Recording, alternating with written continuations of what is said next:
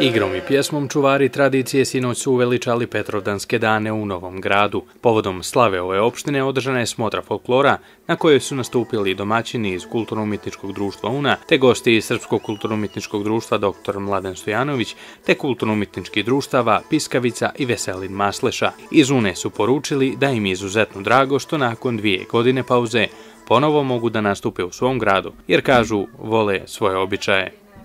Ogromna ljubav prema folkloru, od malena volim folklor, roditelji su mi isto bili naklonjeni muzici.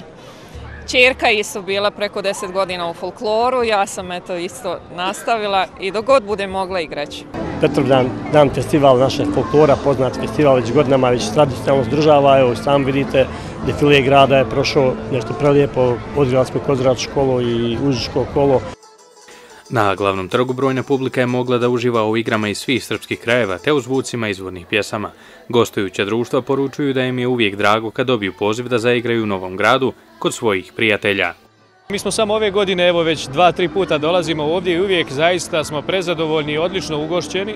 Već godinama e, Una i Masleša imaju vrlo uspješnu saradnju i to se nastavlja kao što vidite ove godine. Ovim potvrđujemo našu dugogodišnju dobru saradnju velike smo prijatelji, posjećujemo se, razmijenjujemo gostovanja i čestitam znači, organizatorima, čestitam i slavu grada. Smotra folklora jedna je u nizu manifestacija koje su dio Petrovdanskih dana, a u Novom gradu moglo se čuti da je ideja da se smotra podigne na nivo festivala. Mislim da to ovaj grad zaslužuje i mislim da to ovaj grad može. O vrijednostima prenošenja i pronošenja tradicije i kulture našeg naroda nema puno govora. Moram samo da kažem da kulturno-umjetničko društvo UNA koje mnogo godina djeluje u okviru kulturno-obrazovnog centra, to radi na jedan veoma vjerodostojan način. A povodom slave opštine u Novom gradu se dobro jelo. Lovci iz četiri lokalna udruženja nadmetali su se u pripremi Kotlića.